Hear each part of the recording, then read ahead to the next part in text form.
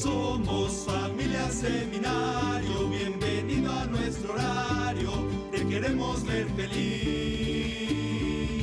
Somos familia seminario, tu lugar comunitario, cada vez más cerca de ti. Este matrimonio, sí. de aquí de San Juan, que ellos se van a presentar, de dónde son, cómo se llaman, bienvenidos. Esther Mora soy de aquí de San Juan de los Lagos y mi esposo. Mi nombre es José Jesús Ramírez y soy de aquí, originario de San Juan de los Lagos. Pepe y, y Esther, me imagino que estos 32 años de casados no han sido fácil. Y ha habido a lo mejor momentos muy difíciles, ha habido momentos muy alegres, ha habido momentos de mucha esperanza, ha habido momentos tristes. Eh, no sé, y en, esto, en esos momentos donde hay mucha sequedad y tribulación, si hay alguna experiencia en su matrimonio que nos gusten compartir. Pues en 32 años pasan muchas cosas.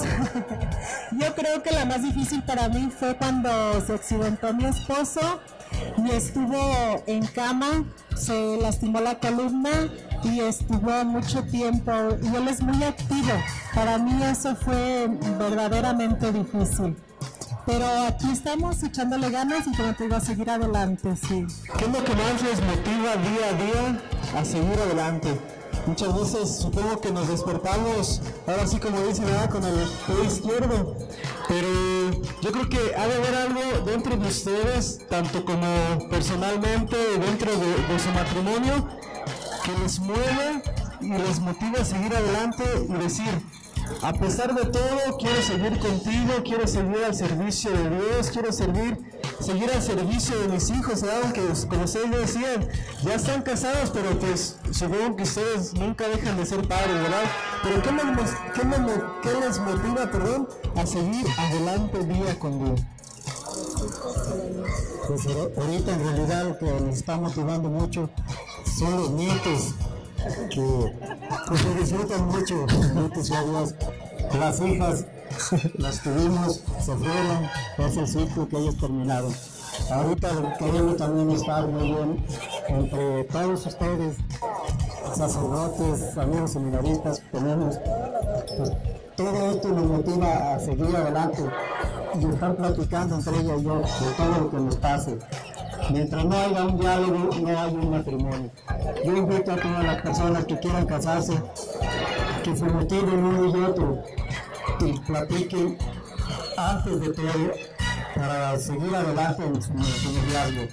Que se conozcan bien, porque ahorita, como dijo mi esposa, la vida es muy dura y los, eh, matrimonios de ahorita son desechables.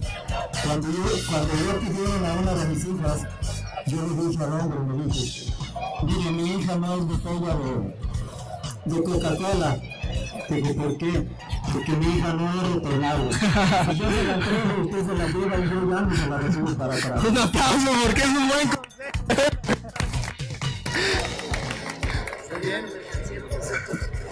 Sé que en la, en la vida del matrimonio, en realidad, eh, se vive la caridad, se vive el amor pleno.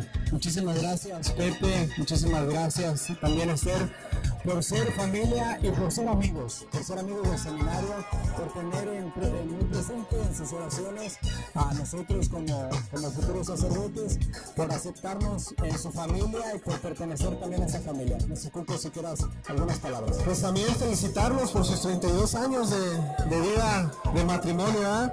Como dice, se dicen fácil, pero en la vida práctica, en la vida cotidiana, a lo mejor no es tan fácil, ¿verdad?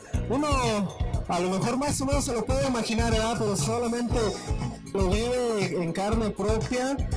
Eh, sabe lo que es estar casado y sobre todo lo que es durar 32 años, ¿verdad?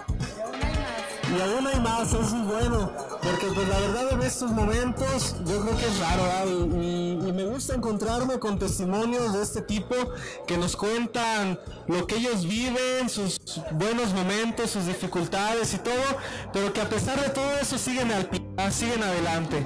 Y eso es lo que a mí también de manera personal me motiva, a lo mejor no tanto a casarme, pero, pero sí a seguir luchando para seguir motivando también a personas como ellas para que sigan adelante. Y esta es la prueba de que sí se puede y más si tenemos a Dios dentro de nuestra vida, ¿verdad? Pues muchas gracias por estar aquí con nosotros.